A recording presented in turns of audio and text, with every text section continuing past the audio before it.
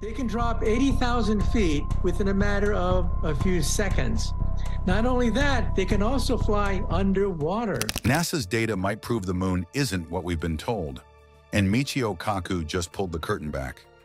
According to Michio Kaku, buried in decades of lunar research are clues that could rewrite the moon's entire story, and NASA hasn't exactly been shouting them from the rooftops. Well, that's the problem. The James Webb Space Telescope is upsetting the apple cart.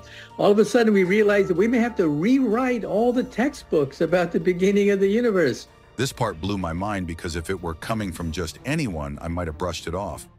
But this is Michio Kaku we're talking about. He's not just a random theorist throwing ideas around online. Kaku is a theoretical physicist, co-founder of string field theory, a best-selling author, and a regular voice on major science networks. He has spent decades explaining quantum, physics, cosmology, and the future of humanity in space to the public. And here's what makes his words hit harder. Kaku's track record includes bold predictions that years later turned out to be surprisingly accurate. He's spoken about black holes, time travel, concepts, the multiverse, topics mainstream science once dismissed, that have since gained serious research interest. So when he says NASA hasn't been fully open about certain moon findings, it's worth listening. He frames it not as a conspiracy theory, but as a symptom of a larger problem. Space agencies holding back data under the banner of strategic interest or national security. What do you think? Should governments have the right to withhold space discoveries from the public if they think we're not ready? Or should space belong to everyone? And here's where it gets even stranger. Kaku claims NASA has collected, and in some cases, classified, lunar data that could change how we see Earth's only natural satellite. According to him, the Apollo missions, later unmanned probes, and orbital mapping missions have revealed anomalies, geological, seismic, and possibly even visual, that never made it to the public press conferences. Some were archived quietly, others were released decades later, long after public interest faded. Kaku isn't saying NASA fabricated anything. He's suggesting they've selectively shared only what aligns with the standard moon is a dead rock narrative, leaving out the oddities that might spark bigger questions. Why? His view is that space exploration has always been part science, part politics. Certain findings, like the presence of abundant lunar resources or unexplained seismic events, might give rival nations an edge if revealed too soon. Here's the kicker. Some of this information was only uncovered when researchers dug through raw mission data themselves, meaning the files were technically public, but buried so deep that no casual researcher would stumble upon them. That would you have done in NASA's shoes? Share everything instantly or play the long game?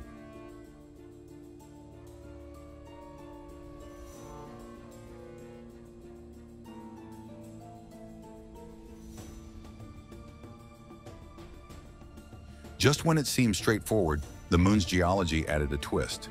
Kaku points to its bizarre surface composition and internal structure as one of NASA's most under-discussed topics. For starters, the moon's crust contains unusually high concentrations of heavy metals like titanium and uranium in certain regions, far higher than what we see on Earth's crust. Even stranger, these metals are often found right on the surface, not buried deep underground. That's not how planetary geology usually works. Then there's the hollow moon angle, not in the sci-fi sense of a giant spaceship, but about Apollo seismic experiments. When lunar modules crashed into the surface, seismometers detected a ringing vibration that lasted far longer than expected, almost like the moon was reverberating. Some scientists chalk this up to its dry, fractured rock structure. Others weren't so sure. Add to that the fact that the moon's far side has a drastically different crust thickness and composition compared to the near side, and you've got a geological puzzle that still isn't fully explained. Kaku's point, if the moon's makeup defies standard formation models, we either need new science or a deeper look at what NASA already knows. So if you found evidence that didn't match the accepted theory, would you publish it or wait until you had a neat explanation? This part made me stop and think, because earthquakes on Earth are one thing, but moonquakes, those are a whole different mystery. During the Apollo missions, astronauts left seismometers on the moon's surface. Over the years, these instruments picked up four distinct types of seismic activity. Deep moonquakes, shallow moonquakes, thermal quakes from temperature changes, and vibrations from meteorite impacts. Here's the weird part. Some shallow moonquakes were surprisingly strong, reaching up to magnitude 5.5. That's powerful enough to crack plaster walls back on Earth. And they didn't seem to fit the patterns scientists expected from a geologically dead world. Even stranger, these quakes could last for hours. Compare that to a typical earthquake, which usually subsides in seconds or minutes. The moon seems to reverberate like a giant bell. That's the same phenomenon Kaku brought up when talking about its strange internal structure. Some researchers think the quakes could be caused by tidal forces from Earth's gravity flexing the moon's crust. Others suspect there might be more going on beneath the surface, perhaps unexplored geological or even volcanic activity.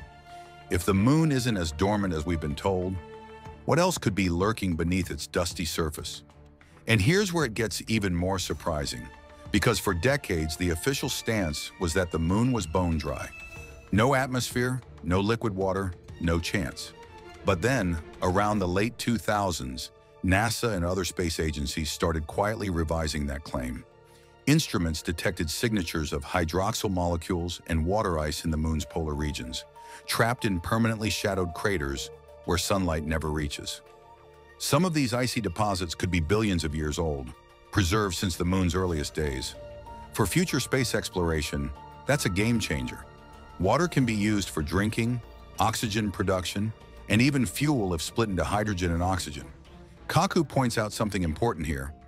NASA had hints of water-related compounds decades earlier from Apollo rock samples and Soviet Luna missions, but it wasn't widely publicized. It wasn't until newer missions like India's Chandrayaan one confirmed it that the story shifted. If that information had been emphasized sooner, it might have changed public perception of lunar exploration entirely. Imagine if the desert moon had always been marketed as a potentially resource-rich outpost. Do you think this discovery was simply overlooked or quietly set aside until the timing was right? Just when you think the moon's mysteries are all about rocks and ice, this curveball hits, strange lights flashing on its surface. For centuries, astronomers have reported what's now called transient lunar phenomena. Brief localized glows, flashes, or color changes on the moon. Some last seconds, others minutes, the earliest documented cases go back to the 1600s, long before modern telescopes. Kaku mentions that even in the Apollo era, astronauts reported seeing strange glimmers.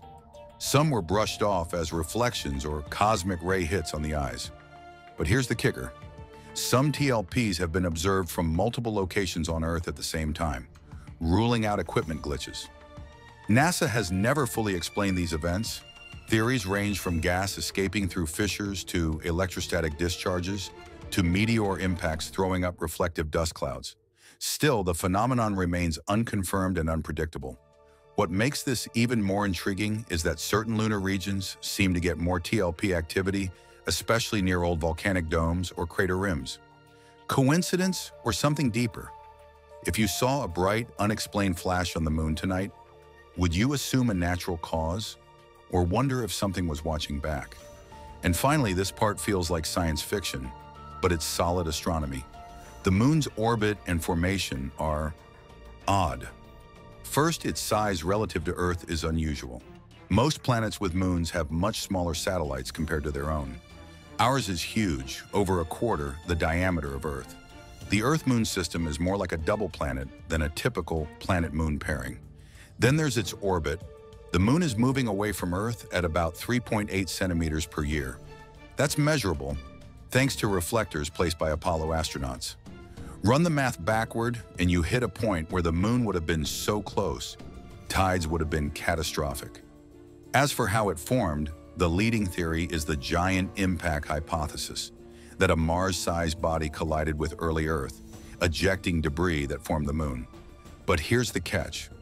Moon rocks are nearly identical in isotopic composition to Earth's mantle, far more than the models predict. Kaku suggests we still don't have the full story and that NASA may have data that challenges the neat textbook version. If the moon's origin is stranger than we think, That changes how we understand our entire solar system's history. Would you be ready to accept a new origin theory if it broke every rule in the book? Here's where strategy comes into play, because NASA's current roadmap doesn't just end at the moon. It uses the moon as a launch pad for something much bigger, Mars. Kaku points out that the moon offers the perfect testing ground for long-duration space missions.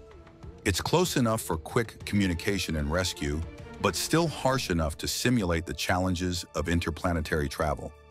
Extreme temperatures, radiation exposure, and the need for total self-sufficiency. And with water ice at the poles, astronauts could manufacture fuel right there on the surface. That means you wouldn't have to haul everything from Earth, making missions to Mars faster and cheaper. But here's the twist. Kaku hints that NASA's focus on the moon might be about more than just logistics. If there are still unpublicized resources or discoveries up there, those could quietly become the backbone of deep space exploration. So the question is, are we going back to the moon purely for research, or because there's something there we need for the next big leap? This part might stir up some strong feelings because while the Apollo missions were a triumph for science, they also left a trail of unanswered questions. During Apollo, astronauts collected over 800 pounds of lunar rock and soil. While much of it was studied and cataloged, some samples were sealed away for decades, only recently opened with modern technology. Why wait so long? Kaku points out that there's nothing inherently wrong with storing samples for future analysis, but combined with classified mission footage and gaps in public reporting, it fuels suspicion. Even some seismic and atmospheric data from Apollo instruments took years to be released. NASA says it's about ensuring accurate interpretation and avoiding premature conclusions. Skeptics think it's about controlling the narrative. And when you mix in anomalies like moonquakes, unexplained lights, and unexpected water, the secrecy angle becomes even harder to ignore.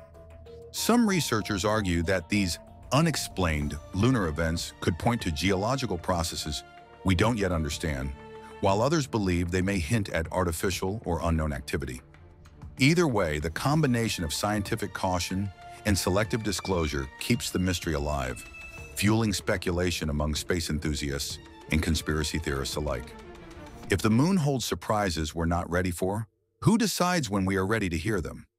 Whenever new lunar findings make headlines, the public response splits almost instantly.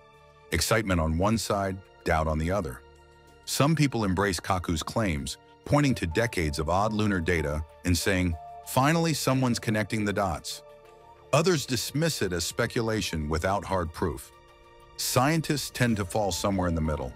Most agree there are unanswered questions about the moon, but they want reproducible evidence before rewriting textbooks. That's the nature of science, slow, methodical, and sometimes frustratingly cautious. The bigger challenge is trust. When agencies withhold or delay data, it leaves room for conspiracy theories to grow. And once the public starts doubting official explanations, even legitimate findings can be met with suspicion. So is skepticism protecting the truth or delaying it? If even half of what Kaku suggests is true, it changes the game for science, exploration, and maybe even geopolitics. First, a geologically active moon, or one rich in hidden resources would make it a prime location for permanent bases. Whoever controls those resources could control the pace of deep space exploration. Second, if our understanding of the moon's origin is incomplete, it could rewrite our entire view of Earth's history and force us to rethink planetary science.